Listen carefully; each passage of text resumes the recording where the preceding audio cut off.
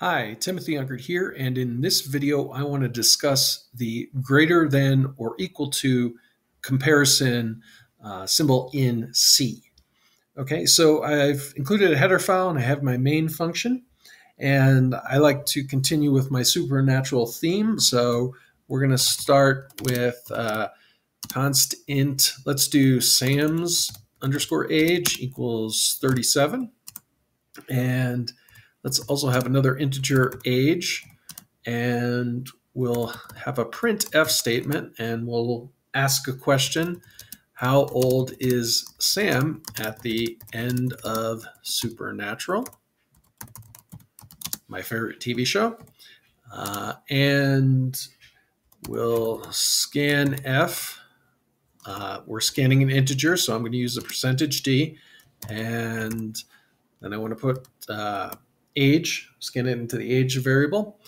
And now I can use this greater than or equal to. So if I can say if age is greater than or equal to, and this is how we say it in C, uh, Sam's age, well, then we're going to have some code that's going to be executed. So we're going to print F, uh, your age guess was not lower than Sam's age. I know this is a little odd of an example, but uh, you know it's just demonstrating the greater than or equal to symbol. So that's the takeaway is this, okay, greater than or equal to. All right, and at the end of this, we will return zero.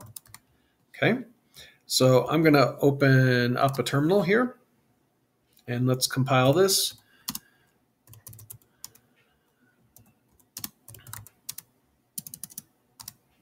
Okay, and now let's run it. And how old is Sam at the end of Supernatural? Let's let's say 40. Your age guess was not lower than Sam's age. Let's run it again. And uh, if we say 36, then the program just ends because we don't have an else statement in there. Uh, but it's it's registering that hey, your guess was lower, just we didn't give that option. Okay. And let's say we say 37, your guess was not lower than Sam's age. That's where the equal to also uh, works. Anyways, that was a little demonstration on C with a greater than or equal to symbol and how you use it.